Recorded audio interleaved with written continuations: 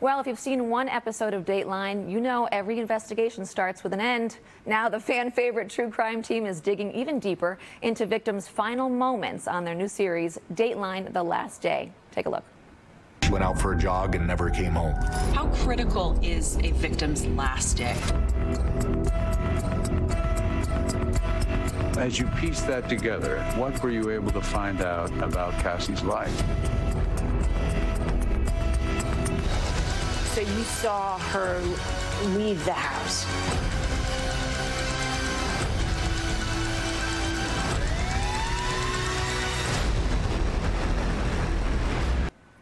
And we have Andrea Canning, Keith Morrison, and Stephanie Gosk with us now. Welcome, guys. Thank, Thank you. you. So good to be here. I'm so glad that you're here. Listen, I, in my house, Dateline is on like 24 hours a day, so I, you know none of us can get enough Dateline. So, Andrea, set this up for us. Um, what makes this different than a classic Dateline? It's it's really told through a different lens. You know, we we I think so often about the victims and how they just wake up you know, and it, it's just a, a normal, normal, day, day yeah. and, but it would be their last day. And how does that last day fit into the investigation, fit into the murder? You know, what happened in those critical hours that led to this horrible conclusion yeah. for this person? And in one of my stories that I'm doing, uh, you know, she had an ultrasound.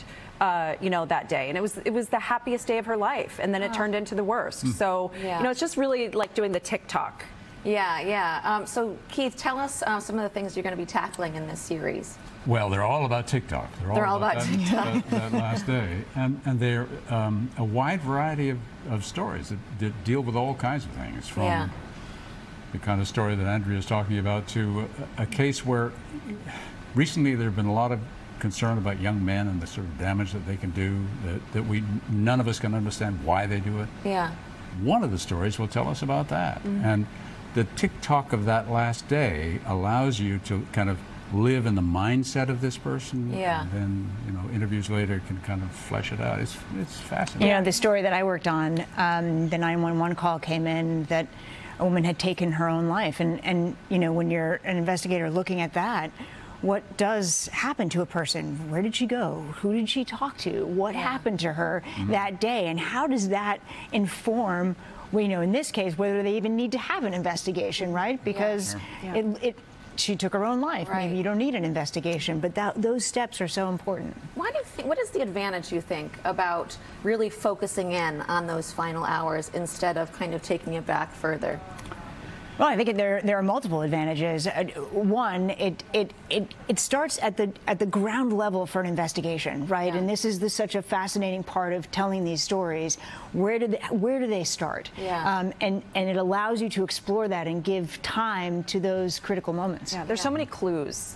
Yeah. In sure. that that last day, those last hours. That's where you're going to find, you know, the most All important the information yeah. a lot of times. In yeah. addition to revelations about the victims and about perpetrators that you otherwise wouldn't know if you didn't focus in on that last day and what they were doing at a particular time and why they might be doing that thing. Yeah, I mean, one of the stories um, tracks a woman's location and her runs from her Fitbit. Mm -hmm. Do you think reporting these stories has changed the way that you live at all? Like, do you always have your location on or, you know, things like that? You think about yeah. those things well, ahead of time? I do have my location on, but I also have done the opposite opposite, where I've like uh, fixed my texts so they like they delete immediately and they they don't go to the cloud because I've like done too many datelines. Yeah, yeah. You know where not that I'm writing horrible things, right, like, but, but I'm just like in case, just in case. You know what I mean? It's like why not? So yeah, I disabled my like cloud thing. I just they just Oh, for me? Gone. You will know my heart rate. You yeah. will know every step that I took, every place I visited, yeah. every dollar I spent. I am